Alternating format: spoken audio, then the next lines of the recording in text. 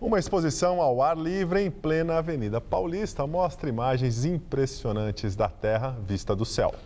Só mesmo chegando perto para entender que este é um manguezal em formato de coração numa floresta meio aquática, meio terrestre em Nova Caledônia, na França. A foto é da década de 90 e faz parte da exposição A Terra Vista do Céu aqui no Vão Livre do MASP, na Paulista.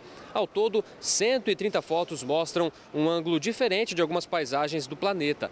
O idealizador e fotógrafo francês Ian Arthus Bertrand começou a registrar essas imagens depois da Conferência das Nações Unidas para o Meio Ambiente no Rio de Janeiro, a ECO 92. A terra vista do céu ficará exposta na área livre do vão do MASP até o dia 15 de dezembro.